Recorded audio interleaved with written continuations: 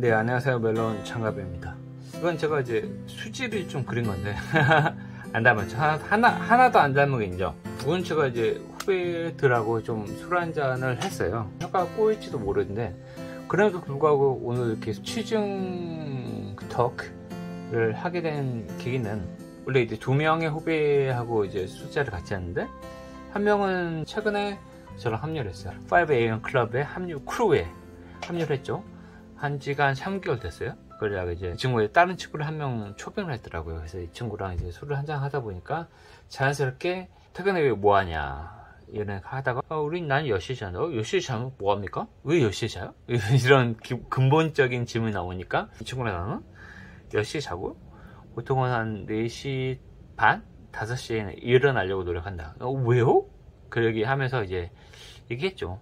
어, 나는 오늘 이렇게 술을 먹고 있지만 옛날에는 정말 술을 많이 먹었던 사람이고 내 인생을 탕진했던 사람이다. 그래서 내가 그에 대한 반성이 되게 많았고 사실 이거를 가장 시작했던 계기는 그 담당 임원이었거든요. 5년 전에 제 담당 임원이었는데 그분이 약간 트렌디한 걸 되게 좋아하셨어요. 그래서 그분이 이제 월요일마다 우리를 모아놓고 자기가 공부했던 걸 떠드는 거 되게 좋아하는 사람이었는데 근데 그분이 어느 날 월요일 아침에 딱 그 얘기를 하더라고요.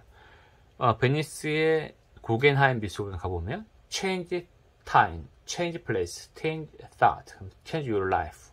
어쨌든 결론은 너의 인생을 바꾸고 싶으면 시간, 장소, place, 그 다음에 thought, 생각, 생각은 사람. 시간과 장소와 사람을 바꿔야 돼, 바꿔야지 너의, 너의 인생을 바꿀 수 있다. 어? 타임 배분, 내 스스로 타임 배분 할 수 있네? 내가 맨날 12시, 1시에 자는 사람이었는데, 타임 배분을, 어, 10시, 11시에 자고, 4시, 5시에 일어나는 사람이 되면, 내 인생이 바뀌겠구나. 그래서 제가, 그래서 바꿨거든요, 내 인생을. 오늘 그 헤어지면서, 빠이빠이. 지금은 9시 30분인데, 내일 아침에 일어나서 서로 연락하자라고 5시에 하고 끝났어요. 그러니까, 어, 저는 오늘 이 영상 굳이 이렇게 혀가 꼬인 상태에서 찍는 이유 중에 하나는, 내 얘기가 단 한 사람에게라도 긍정적인 영향을 줄 수 있겠구나. 그래서 오늘은 정말 후배한테 술이 취했음에도 불구하고 꼭이 얘기는 하고 자야겠다. 라기, 라고 생각해서 집어든 책이 이 책이에요. 이 책에서 핵심 딱 두 가지만 정확하게, 정확하게 두 개만 알려드릴게요. 단 10명, 아니, 단 한 명이라도 봐도 돼요. 저한테 제 영상을 단한 명이라도 봐도 좋으니까 이 영상을 남겨주고 내가 자야겠다. 지금 술이 깨네. 상위 1%만 할 수 있는 습관이라는 거예요. 그게 뭘까? 보세요. 읽어드릴게요. 기억하라. 인생이란 단지 하루들의 누적, 단지 한두, 한 주들의 누적, 단지 한 달들의 누적, 그리고 단지 한 해들의 누적에 불과한 뭘?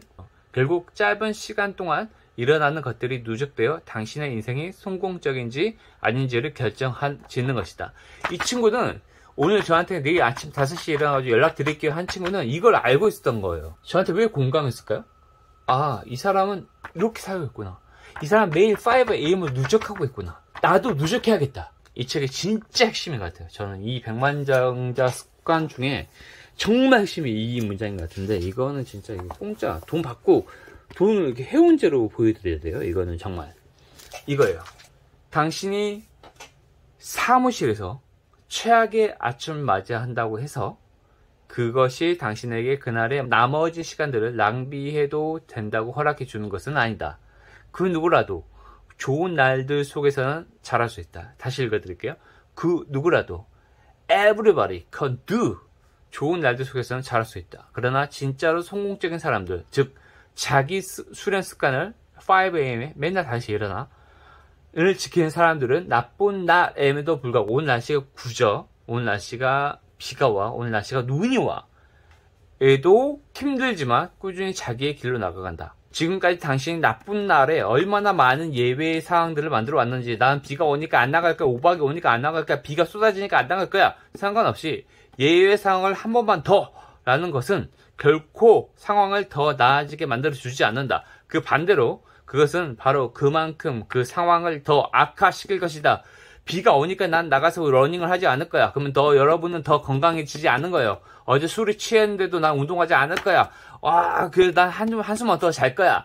더 상황을 악화시키는 거예요. 그러면 백만 장자 습관이 아닌 거죠. 그 반대로 그것은 바로 그만큼 그 상황을 더 악화시킬 것이다. 상황이 손쓸 수 없게 될 정도로 악화되기 전에 당신 스스로를 멈추게 하는 자기 수련 습관을 길러라. 이것으로 인해 나쁜 날, 나쁜 주, 나쁜 달을 회복시켜주는 습관을 개발시킬 수 있다. 오늘 스트레스 너무 많이 받았어. 오늘은 꼭 비가 오니까 그 날인데 하필 비가 와. 막걸리에 파전 먹어야 돼. 이런 날이야. 자, 여러분이 지금 백만 장자가 되겠다고 결심했어요. 솔직히 냉정하게 얘기해 볼게요. 제가 이렇게 술을 먹었음에도 불구하고 술이 많이 지금 완전히 깼어. 이 영상을 남겨드리는 것은 제가 어떤 습관을 개발시키고 있는 걸까요? 여러분은 어떻습니까?